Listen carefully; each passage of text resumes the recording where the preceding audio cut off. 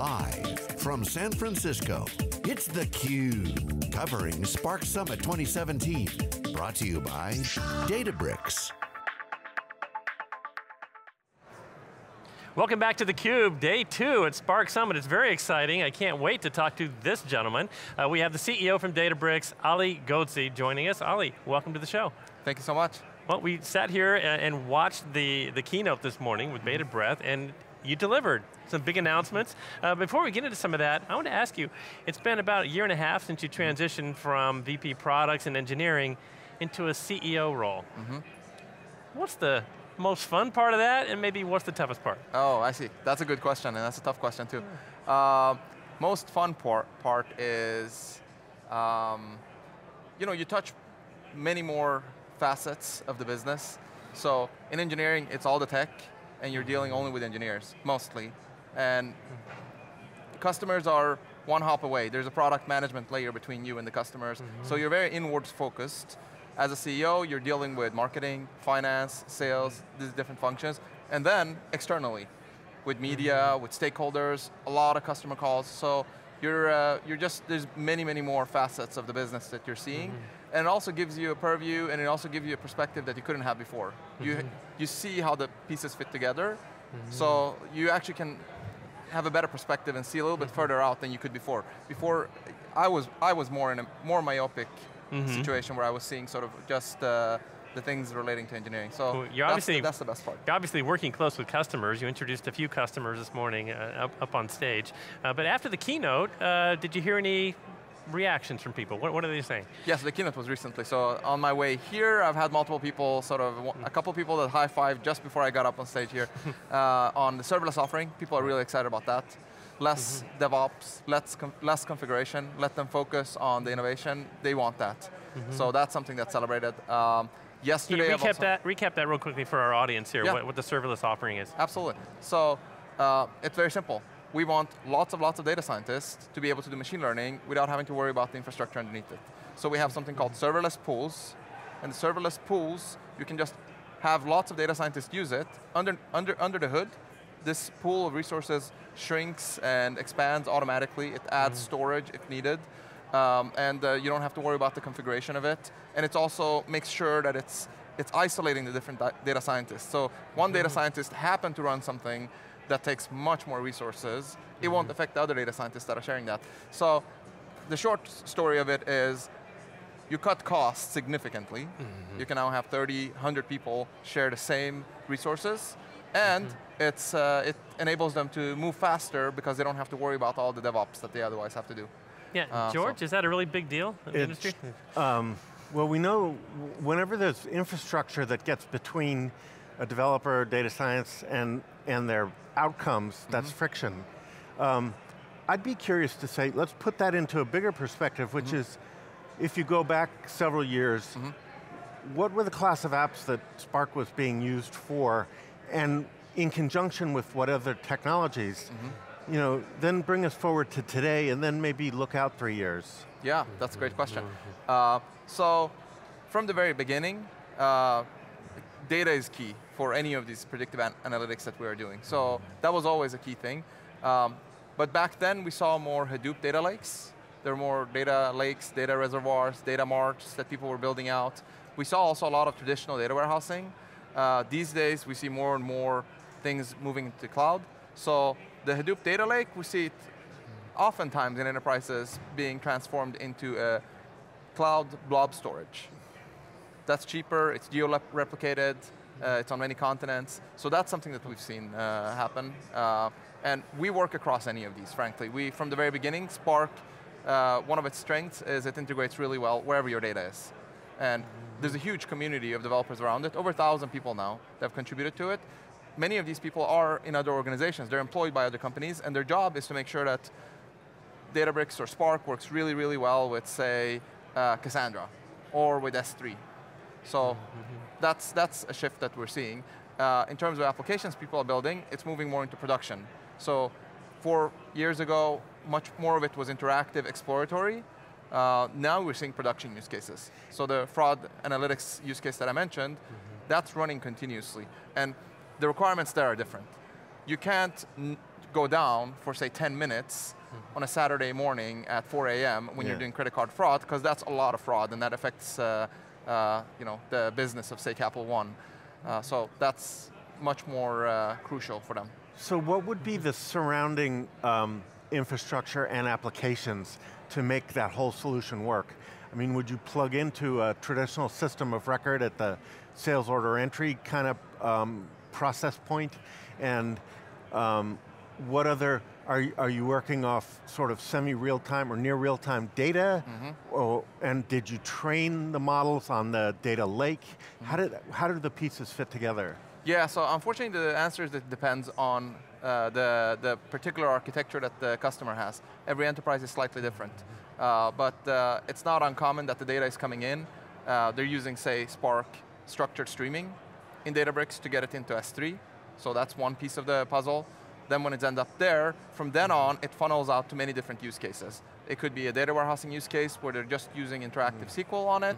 So that's the traditional interactive use case. But it could be a real-time use case where it's actually taking those uh, data that is processed and it's detecting anomalies and putting triggers in other systems. And then those systems downstream will react to those triggers for anomalies. Uh, but it could also be that uh, it's periodically training models and storing the models somewhere in some, it could be in, oftentimes it might be in a Cassandra or in a Redis or something of that sort. Mm-hmm. It'll store the model there, and then some web application can then take it from there, do point queries to it and say, okay, I have a particular user that came in here, George now, quickly look up what is his feature vector, mm-hmm. figure out what are the product recommendations we should uh, show to this person, and then mm-hmm. It takes it from there. So, So in those cases, Cassandra or Redis, they're playing the serving layer Mm-hmm. as well, but the, the generating the predi- prediction model is, Yes. ha- is coming from you. yes, And, and they're just, they're just doing the inferencing, the Mm-hmm. prediction itself. yeah. So if you look out several years, you know, without asking you the roadmap, which you can feel free to answer, um, what sort of, how do you see that scope of apps uh, expanding or the, the share of, you know, an existing app like that? Yeah, so I think two interesting trends that I believe in. Uh, I'll be foolish enough to make predictions. uh, one is that I think data warehousing, as we know it today, uh, will continue to exist. However, it will be transformed, and all the data warehousing solutions that you have today will add predictive capabilities or they will disappear. So let me uh, motivate that. If you have a data warehouse with customer data in it, in a fact table, you have all your transactions there, you have all your products there, today you can plug in BI tools, and on top of that, you can see what's my business health today and yesterday. Mm-hmm. But you can't ask it, tell me about tomorrow. Why not? The data is there. Why can I not ask it, this customer data, you tell me which of these customers are going to churn, or which one of them should I reach out to, because I can possibly upsell these. Why wouldn't I want to do that? I think everyone will want to do that, and every data warehousing solution in 10 years will have these capabilities. Now, with Spark SQL, you can do that, and the announcement yesterday showed you also how you can bake models, machine learning models, and export them so a SQL analyst can just access them directly with no machine learning experience. It's just a simple function, Function. call, right? And it just works. So that's one prediction I'll make. Okay. Um, the second prediction I'll make is that uh, uh, we're going to see lots of revolutions in different industries beyond the traditional get people to click on ads and understand social behavior. We're going to go beyond that. So for those use cases, it'll be closer to the things I mentioned, like Shell. And what, what you need to do there is involve these domain experts. The domain experts will come in, the doctors or the machine specialists. So you have to involve them in the loop, and they'll be able to transform maybe much less um, um, exotic applications. You know, it's not the sup- super high-tech Silicon Valley stuff, but it's nevertheless extremely important to every enterprise, every vertical on the planet. That's, I think, the exciting part of where predictions will go in the next decade or two. If, if I were to try and pick out the, the most um, man bites dog kind of observation in there, the, the you know, supposed to be the unexpected thing. Yes. I would say where you said all data warehouses are going to become predictive services, because what we've been hearing, um, it's, it's Yeah. sort of the other side of that coin, which Yeah. is all the operational databases Uh-huh. will get all the predictive capabilities. Yeah. But you said something very, very different.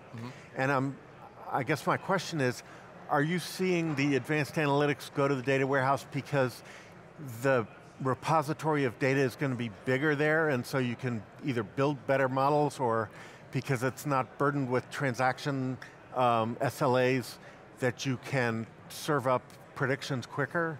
Well, I'm saying something simple is that data warehousing has been about basic statistics. Yeah. Right? It's been, uh, SQL, the, the language that is used is to get descriptive statistics, tables with averages and medians, that's statistics. Uh -huh. Why wouldn't you want to have advanced statistics, which now does predictions on it? It just so happens that SQL is not the right interface for that. So it's going to be very natural that people who are already asking statistical questions for the last 30 years from their customer data, these massive troves of data that they have stored, why wouldn't they want to also say, okay, now give me more advanced statistics. I'm not an expert on advanced statistics, but mm-hmm. you, the system, tell me what I should watch out for. Which of these customers should I talk to? Which of the products are in trouble? Which of the products are not? Or which of parts of my business are not doing well now? Predict the future for me. But so, when you're doing that though, you're now doing it on data that has a fair amount of latency built into it, because that's how it got into the yes. data warehouse. Yes. Whereas if it's in the operational database, it's Correct. really low latency, typically low yes. latency stuff. Yes. Where, where, do, where and why do you see that distinction? That's great. I do think also that we'll see more and more real-time engines take over. So if you do things in real time, you can do it for a fraction of the cost. So we'll also see those capabilities come in. So you don't have to, so I, your question is, why would you want to once a week batch everything into a central data warehouse? Yeah. I agree with that. It'll be streaming in live, Okay. And then you can on that do predictions, you can do basic analytics. I think basically the lines will blur between all these technologies that we're seeing. Okay. And in some sense, Spark actually was the precursor to all of that. So Spark already was unifying machine learning, SQL, mm -hmm. ETL, real time, and that's, you're going to see that everywhere appear. Mm -hmm. um, Okay, so you mentioned Shell as an example, one of your customers. Yeah. You also had HP, mm -hmm. uh, Capital One, yeah. uh, and, and you developed this uh, you know, unified analytics platform that's yes. solving some of their common problems. Now that you're in the mood to make predictions, what do you think are, are going to be the most compelling use cases or industries where you're going to see uh, Databricks going in the future? Uh, that's a hard one. Right now, I think healthcare, there's mm -hmm. a lot of data sets, there's a lot of gene sequencing data, and they want to be able to use machine learning. In fact, I think those industries are trans being transformed slowly from using classical statistics into machine learning we've actually helped some of these companies do that. We've set up workshops and they've gotten people trained and now they're hiring machine learning experts that are coming in. So that's one, I think in the healthcare industry, whether it's for drug testing, clinical trials, um, even uh, diagnosis, that's a big one. Mm -hmm. um, I do think industrial IT, so the, these are big companies with lots of lots of equipment. They have tons of sensor data, mm -hmm. massive data sets, and there's a lot of predictions that they can do on that, that that's coming. So that's a second one I would say. Uh, financial industry, they've always been about predictions, mm -hmm. so it makes a lot of sense that they continue doing that. Uh, those are the biggest ones for Databricks, mm -hmm. uh, but I think now also as slowly other verticals are moving into the cloud, um, we'll see more of other use cases as well. But those are the biggest ones I see right now. It's hard to say where where it'll be 10 years from now, 15. Mm -hmm. Things are going so fast that it's hard to even predict six You months. believe IoT is going to be a big business driver? Yeah, absolutely. Right. Uh, I, I want to circle back to the, where you said that, you know, we've got different types of databases, but mm -hmm. we're going to unify the capabilities. Yes. Without saying, you know, it's not like one wins, one loses. Yes, I didn't want to do that prediction. Yeah, but what, so describe maybe the characteristics of what a database that complements Spark really well might look like. How, that's, that's, yeah, that's hard for me to say. Um, the, the capabilities of Spark, I think, are here to stay. Uh, so the ability to be able to uh, ETL variety of data yeah. that doesn't have structure, so structured query language, SQL, is not fit for it, that is really important, and it's going to become more important since data is the new oil, as they yeah. said. Yeah. Well, then it's going to be very important to be able to work with all kinds of data and getting that into the systems. And there's more things every day being created, devices, IoT, whatever it is, that are mm-hmm. spewing out this data in different forms and shapes. So being able to work with that variety, that's going to be an important property. So they'll have to do that. So that's the ETL portion or the ELT portion. Uh, the real-time portion, not having to do this in a batch manner once a week, because now time is competitive advantage. So if I'm one week behind you, that means you know I'm going to lose out. So doing that in real time or near human time or human real time Uh, that's going to be really important. Okay. Uh, so that's going to come as well, I think, and people will demand that, and that's going to be a competitive advantage. Wherever you can add that secret sauce, uh, it's going to add value to the customers. Mm-hmm. And then finally, the predictive uh, stuff, adding the predictive stuff. But I think people will want to continue to do also all the old stuff they've been doing. I don't think that's going to go away. Mm-hmm. Those, those bring value to customers. They want to do all those traditional use cases as, as well. So what about now where um, customers expect to have some, not clear how much, on-prem, you know, of an application platform like Spark, um, some in the cloud that now that you've totally sort of reordered the TCO equation, Yeah. but then also at the edge, you know, for IoT type use cases. Um, do you have to slim down Spark to work at the edge? If you have serverless working in the cloud, does that mean you have to change the management paradigm on-prem? What does that mix look like? How does someone, you know, how does a Fortune 200 company get their arms around that? Yeah, I mean, this is a surprising thing. Most surprising thing for me in the last year is how many of those Fortune 200s that I was talking to three years ago and they were saying, no way, we're not going into the cloud. You don't understand the regulations that we are facing or the amount of data that we have, or we can do it better, or the security requirements that we have. No one can match that. To now, those very same companies are saying, absolutely we're going. It's not about if, it's about when. so uh, it's, it's hard, now I would be hard pressed to find any enterprise that says, no, we're not going to go, ever. Um, and some companies we've even seen go from the cloud to on-prem and then now back. Uh, Wow. Because the prices are getting more competitive in the cloud, right? Because now there's three, at least, major players that are competing, and they're well-funded companies, right? It's, in some sense, it's, you have ad money and office money and uh, uh, retail money uh, being thrown at, this, thrown at this problem. Prices are getting competitive. Uh, it'll, very soon, most IT folks will realize there's no way we can do this faster or better or more reliable or secure ourselves. So, Well, we've got just a minute to go here before the break, so we're going to kind of wrap it up here. And we've got over 3,000 people here at mm-hmm. Spark Summit. So this is the Spark community. I want you to talk to them for a moment. What problems do you want them to work on the most? And what are we going to be talking about a year from now at this table? okay, that's 30 the seconds. second one is harder. Yeah. so, I think the Spark community is doing a phenomenal job. I'm not going to tell them what to do. They should continue doing what they are doing already, mm-hmm. which is integrating Spark in the ecosystem, adding more and more integrations with the greatest technologies that are happening out there. Uh, so continue the innovation, and uh, we're super happy to have them here. We'll continue it as well. We'll continue to host this event, and uh, look forward to also having a Spark Summit in Europe and also in the East Coast soon. Great, so I'm not going to ask you to make any more predictions. How All right, no. Ali, this was great stuff today. Thank you so much Yeah. for taking some time and giving us more insight after the keynote this morning. Uh, good luck with the rest of the show. Thank you. Thanks so much. Thanks, Thank you, George. Okay. And thank you for watching. That's Ali Ghodsi, CEO from Databricks. We are Spark Summit 2017 here on theCUBE. Thanks for watching. Stay with us.